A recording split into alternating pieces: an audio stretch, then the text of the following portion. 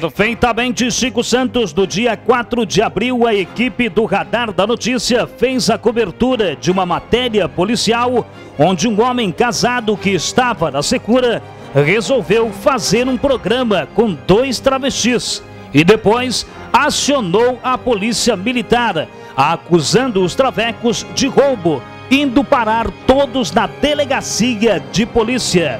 O que chama a atenção agora é que a matéria publicada no blog do Radar da Notícia ganhou repercussão em todo o Brasil, chegando à casa dos 200 mil acessos. Revejam agora partes da matéria. O Enorme tirar e você dá. Agora, se querer pagar nós, você não vai querer pagar, gato? Ele é casado, safado, cachorro sem vergonha, de sarantinho, ele é drogado, tem droga no carro dele. É um viado desgraçado ainda, que me leva pra delegacia ainda. Então, eu quero falar que aquela maricona ali não conseguiu dar o c...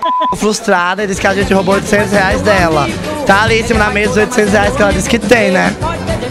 E as ela não queria subiu. Não vou mentir, adoro meu só que o dele é peludo, não consegui mesmo, não teve um subir isso, né, gato?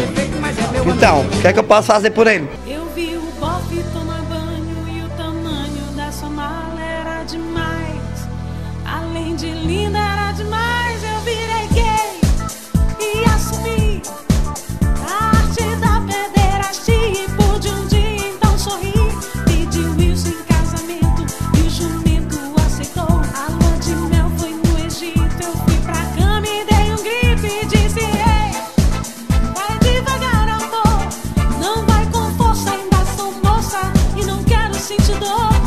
forte como uma menina.